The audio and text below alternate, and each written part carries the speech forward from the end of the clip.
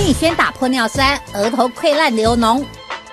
我也没有办法出去见客户啊，见人。戴着口罩说自己没脸见人的是桃园的三十岁叶小姐，因为她的额头变成这样。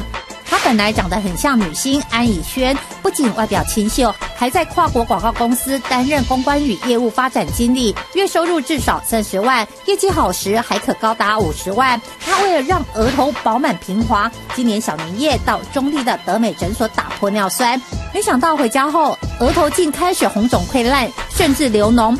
然后整个开始一点一点开始起水泡，延伸到我的眉头这边开始延上来。在眼睛这个位置，整个淤青不就变成一个一条线，眼睛变成一条线。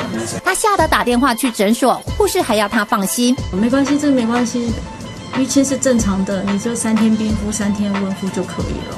结果隔天更严重，但刚好碰到过年，无法回诊。等年后诊所开诊，他回去时，医师也吓坏了，赶紧开药膏给他涂抹，但至今都没好。他气得提出伤害告诉。德美诊所院长强调，该做的、该消毒的，他们都做了。这两个都是一起的，这样。理论上，药品本身是没有被污染的机会。但为何打破尿酸会打到额头烂掉？院方表示，是因为打针时细菌感染造成，或是因过敏反应等，希望由第三公证单位来判定。院方愿意补偿。东新闻桃园报道。独家爆料给苹果，经采用就拨奖金捐你指定的慈善机构，请拨电话或电子邮件，苹果日报网站或 APP 的爆料专区，你爆料我捐款。